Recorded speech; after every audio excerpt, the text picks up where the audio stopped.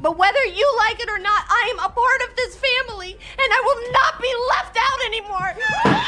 No.